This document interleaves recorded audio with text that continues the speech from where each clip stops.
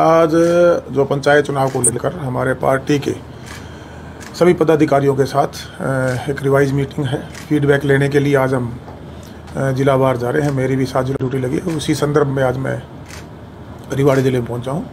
आज अधिकारियों से भी एक बार, जो डेवलपमेंट को लेकर रिवाइज मीटिंग डी साहब हैं हमारे और विभाग के संबंधित अधिकारी हैं, सबसे डिस्कशन हुआ है कि हमें जो डेवलपमेंट है, वो गुणवत्ता के साथ धरातल पर पहुंचानी है।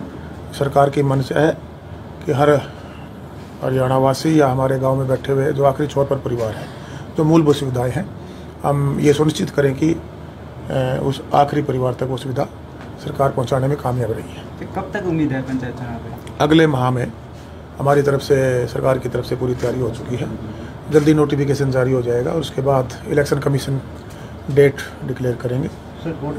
और जल्दी चुनाव अगले महीने में हो जाएँगे। कोर्ट में तो सदर तारीख देखिए केस तो काफ़ी विचाराधीन है लेकिन चुनाव हम इस महीने में करवाएँगे।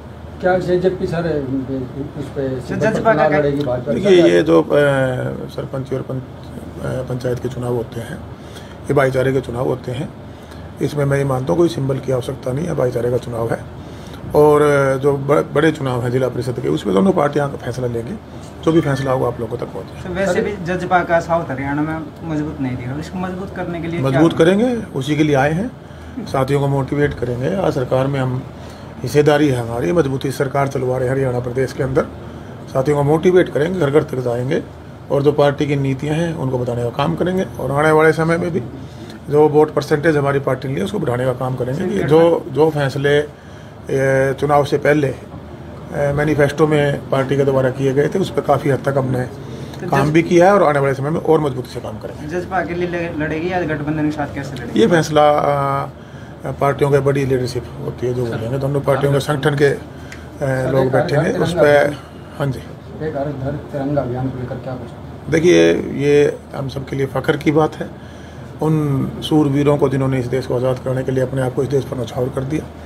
हमारे देश के माननीय प्रधानमंत्री नरेंद्र मोदी जी ने एक पूरे देशवासी आह्वान किया है। मुख्यमंत्री मनोहर लाल जी ने हरियाणा वासियों से किया। मैं भी अपनी तरफ़ से आह्वान करना चाहता हूँ उन शहीदों को याद करते हुए।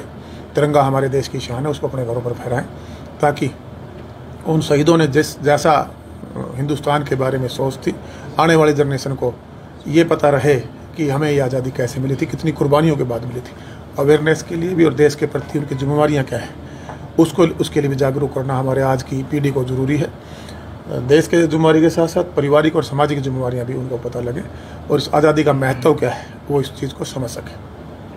सर भूपेंद्र सिंह देखिए बेरोजगारी की दर